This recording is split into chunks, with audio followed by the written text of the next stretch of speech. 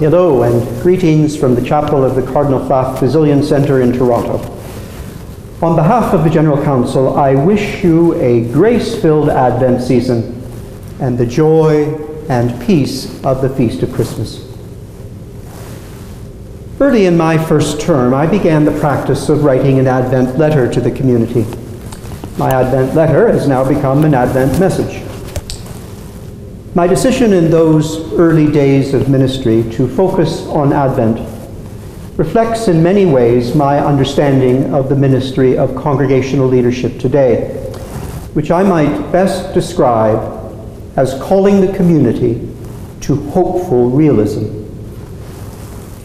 Whenever I travel in Mexico or Colombia with Jack Hanna, he always reminds me that underlying Latin American literature is the concept of magical realism, in which mythical or magical elements are introduced into seemingly realistic fiction.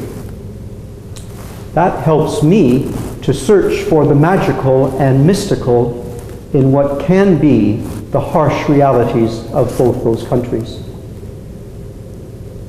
And so, after these seven and a half years of service, I'm inclined to describe my outlook for the community not as magical realism, but as hopeful realism, by which I mean the search for the hopeful amidst the harsh realities that we face as a congregation.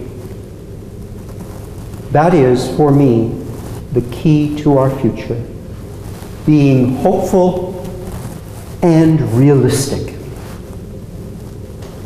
Among the most hopeful signs of new life in the congregation at the moment are the upcoming general chapter next July and the corresponding appointment of the steering committee. We on the General Council are greatly excited about and enormously grateful to the members of the steering committee chaired by Dennis Nelke. The committee's membership includes David Bittner, Terry Kirsch, Rafael Lopera, and Glenn MacDonald. To these five confreres, all of us say thank you and God bless you. They have already chosen a passage of Scripture to guide them in their ministry and it is a passage of profound depth and meaning for our congregation today. From the 24th chapter of Luke's Gospel, the encounter with the risen Jesus on the road to Emmaus.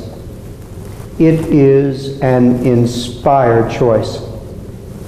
In the midst of what appears to be a daunting and diminishing future, two disciples representing a small community, are transformed as a result of an encounter with Jesus. May I ask each Basilian community and each member of the congregation, as well as our lay associates, to dedicate some time to prayer during this season of Advent for the members of the steering committee. Might you include them in your communal intercessions and in your private prayer?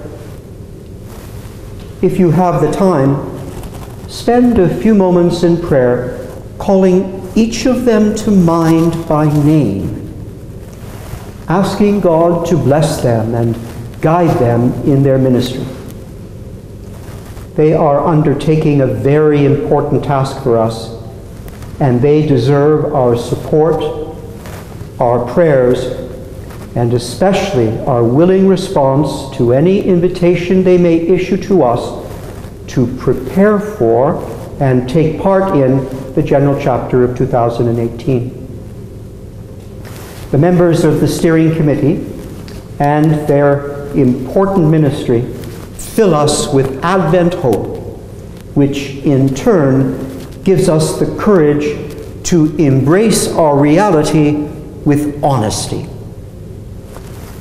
The great figures of Advent, the prophet Isaiah, John the Baptist, and Mary all faced the reality of their respective situations in ways that inspire us to both prophetic honesty and surrender to God's divine will.